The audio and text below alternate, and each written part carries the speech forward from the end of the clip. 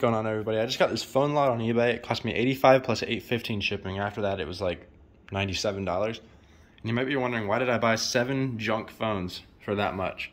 And you'll see why. So here's everything. We have a galaxy note 4 a htc droid incredible 2 a motorola droid turbo 2 a htc one m7 two 7 pluses and an 11 pro max. So we'll start off with the worst and you might be wondering how can a note 4 be worse than a droid incredible 2 well, unfortunately, this phone does have a bad AMOLED. It came like that. Um, it has a missing pin and a missing battery as well, so I am completely unable to test this phone, which is unfortunate because that's my first Note 4, meaning I don't have any parts and I don't know how to test it. On the bright side, I do have a nice outer box for whenever I get a good Note 4 now. All right, so next up we have the Droid Incredible 2. This is an HTC, really old. It's pretty cool. It's unfortunately dead right now, but it does work completely fine. Just has a pretty crappy battery in it. Um, yeah, pretty cool old HTC. So finally getting into some good stuff here, we have a Motorola Droid Turbo 2. Um, I unfortunately can't turn this on. Well, I guess I can. Hang on.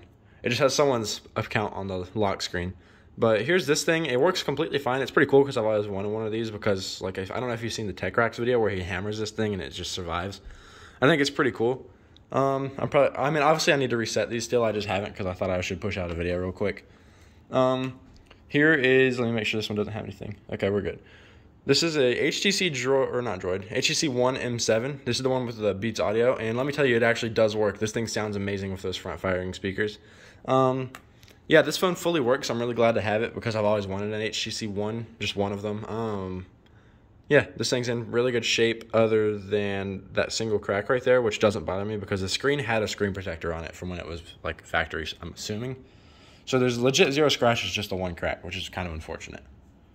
All right, so that was all the Android stuff. Let's go ahead and move on to the Apple. Um, we have the two 7 Pluses.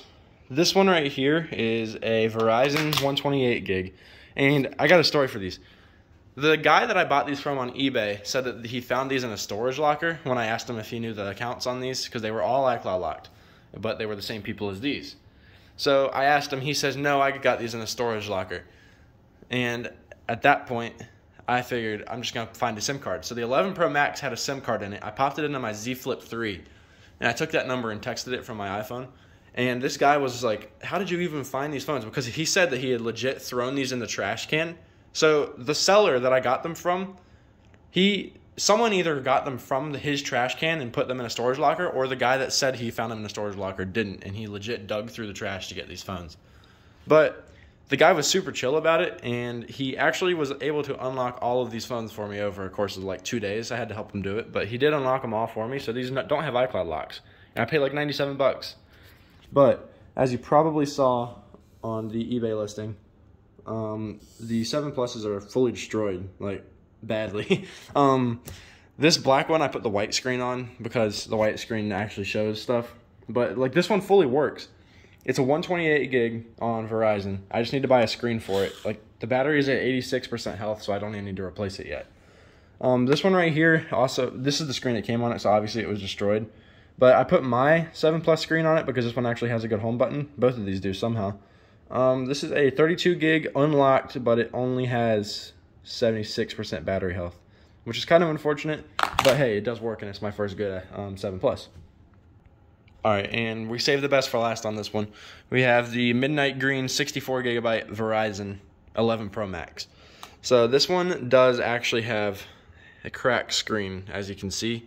And you would think that that's like not enough damage to actually do anything, but unfortunately, as you can see, this thing has like lines of dead touch throughout, and it, if you even get past all that, it starts to like touch the screen on its own. So it's kind of messed up. But fortunately, I decided I'm going to post this on eBay because I want to make the money back from this and I don't feel like fixing this because, well, I already have one. So I posted on eBay for 200 bucks just to see what would happen. Within like two minutes, some guy sends me an offer of 180 and then that same guy like three minutes later buys it outright for 200. So this is sold phone for over double what I paid for the entire lot, which is sweet because I made my money back already. But yeah, that's basically the entire phone lot. I got all these things for 97 bucks. Thank you guys for watching.